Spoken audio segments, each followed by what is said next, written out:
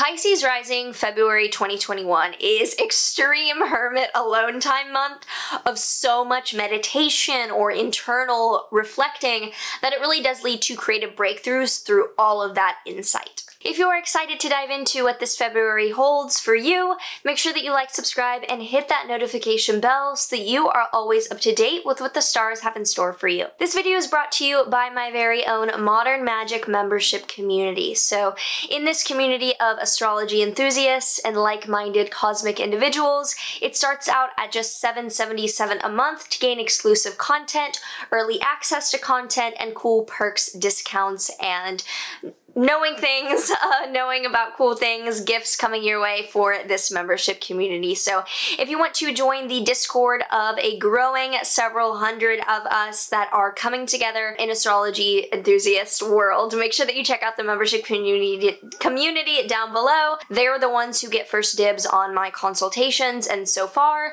there have been none left because they take them all up uh, before the general public. So if you want to get those opportunities, check that out below. Hi, I'm Maren. I am a professional astrologer, author, and entrepreneur.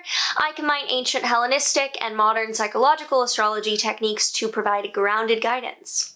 And if you have not yet seen your 2021 year ahead forecast, not too late to get a huge head start and see what the year ahead holds in store. So you can check that out. Uh, it'll be linked below or just find it on my channel as well. So we start on the 1st through the 3rd with the Sun in your Aquarius 12th house, squaring Mars in your Taurus 3rd house. And this is indicating that a lot of emphasis on your inner world, so breaking poor habits or creating a new spiritual practice for the foreseeable future, is at odds odds with a refusal to want to change your immediate day to day routine for information or news intake or your commuting and the people you're around. It's like you know that you need to upgrade your mental health and how you have a mindset around things, but your day to day routine is lagging a bit. So it's this, it's this lag basically where you're like, oh yeah, I changed my mindset, but I have to get my environment to reciprocate that. So I have to, you know, cut ties or change my routine or uh, reroute how I use my schedule. On the 5th through the 20th, Venus is joining Jupiter Jupiter and Saturn in your Aquarius 12th house, squaring Uranus and Mars in your Taurus 3rd house. So I have a full video on the Great Conjunction down below around what Jupiter and Saturn together means for everyone collectively and uh, this new beginning of structured reality. Venus joining you there, um, that there is like, okay, I know I need to do a lot of internal overhaul and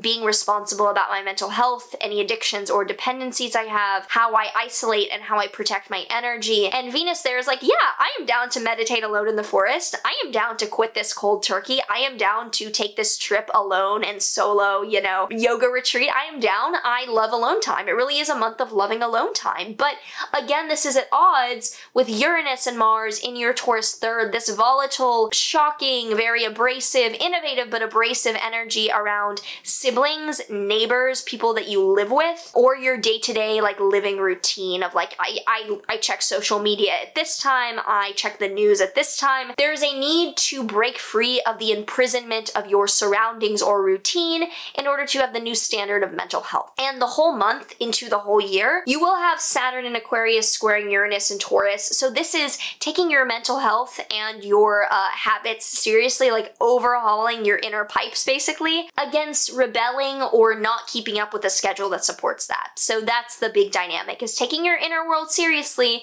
and having your outer world either grow up or rebel as a result.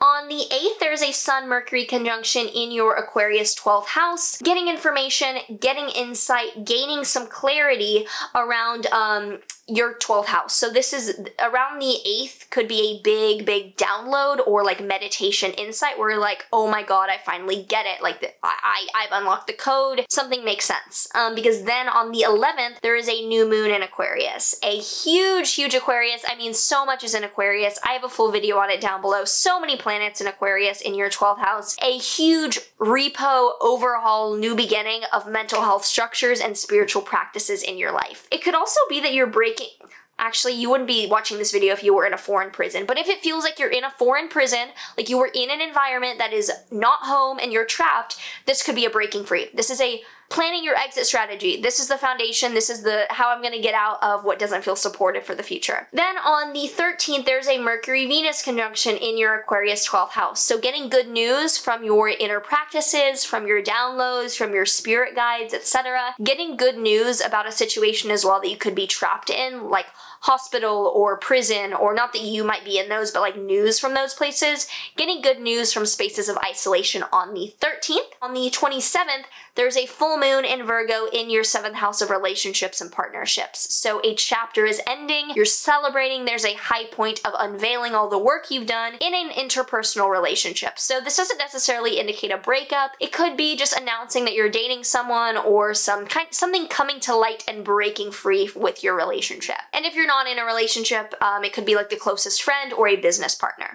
If you have any thoughts, questions, comments coming up for you and your rising sign this month, make sure that you leave a comment down below so we can discuss and um, see what all of us are going through for this upcoming February. Now a tarot card for Pisces rising, 12 out of 12 here. We have the Three of Wands, and this is called the Lord of Virtue, and it's about setting an example and like leading from integrity. So in a way, with these transits, it's kind of like no shit. Like you're having to lead yourself with integrity. There's the karma slap in the face is coming if you fuck up. In some ways, like if you if you kill a fly, you're gonna stub your toe. Like little things like that, where you know you gotta stick to the path, you know you have to hold yourself accountable, and now you're gonna be you're gonna be compassionately mothering yourself, basically. The Amio astrology card that we have for Pisces risings, conjunction, support, fusion, union, focus. So a conjunction is an alignment of two planets on top of one another. And this could mean that you need to come home to yourself. You need to align your thoughts and your actions. You gotta break the cognitive dissonance and align your beliefs with your routine. That could be a big one is that you're like becoming an activist or awakened to a lot of causes, voices for the voiceless, and you're like, I need to change my habits. And this is around Conjunction, conjoin your beliefs, your actions, your inner world, your outer world. Unity, wholeness. if you enjoyed this and you would like to dive deeper with us here at the Modern Magic community, make sure that you check out our info down below, as well as my courses and offerings. I have my Rise into Yourself starter course as a key to your life based on your rising sign available. So if you want to get in on that, everything's below. Otherwise, make sure to like, subscribe, hit that notification bell so you are always aware of when I post new videos every single week. Leave any comments, questions, anything you want to share, and I will see you in the next one. Yeah.